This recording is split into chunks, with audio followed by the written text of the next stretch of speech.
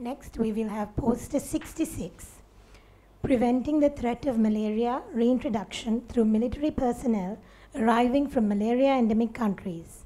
The authors are Booso B.R., Fernando S.D., and Ranaweera P. The presenting author is Fernando S.D. Good morning, ladies and gentlemen. The title of our presentation is Preventing the Threat of Malaria Reintroduction Through Military Personnel Arriving from Malaria Endemic Areas. As you know, military personnel continue to pose a threat to the reintroduction of malaria in Sri Lanka. So we followed up 110 Air Force personnel who were in Central African Republic and their camp is visible on this slide over, for over two years. That's November 2017 to November 2019. Now on their arrival, they were screened at the BIA by microscopy and RDT.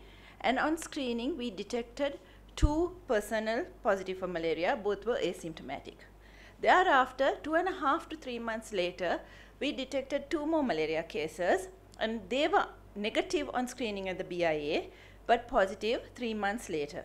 Now, unfortunately, these two people were missed on several occasions by clinicians and there was a delayed diagnosis for up to 10 days. They had gone to private hospitals, GPs, and even the teaching hospitals where the diagnosis was missed, not even a travel history was asked, and finally they were diagnosed with malaria. All four were Plasmodium ovale positive. The, the, people had been on prophylaxis while in a Central African Republic on mefloquine, but the compliance was poor.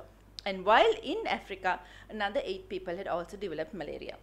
Now, the moment a malaria case is detected, the anti-malaria campaign starts primary surveillance, pathological surveillance. That's within 24 hours, they will start screening the entire uh, households around where this person visited over the last 14 days. And if you look at that map with the uh, black line and the yellow line, that is a 1 kilometer radius and a 500 meter radius. So the primary screening is done to see whether there is an individual who was positive for malaria in this community from whom the index case got this disease. This is because we do not consider any cases imported malaria, all are considered indigenous unless proven otherwise. Thereafter, 14 days later, another screening is done to see whether this index case has transmitted the disease.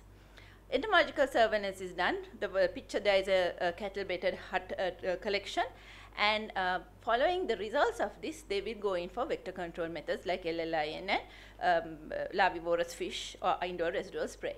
So in conclusion, mefloquine was given to these people, but their compliance was poor. So we need to ensure that they take the prophylaxis. The clinicians' awareness has to be improved because there are a lot of delayed diagnosis cases as a recent uh, strategy, we are going to give what is known as standby treatment, where the medical officer going with this Air Force personnel will be given permission to issue treatment in the absence of diagnostic services. You can see the camps are not very well established, so that we can prevent malaria infections while overseas.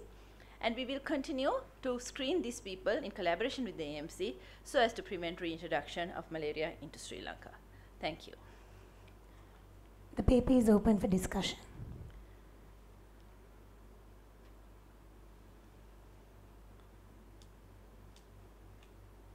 All right, Thank you. Okay, thank you.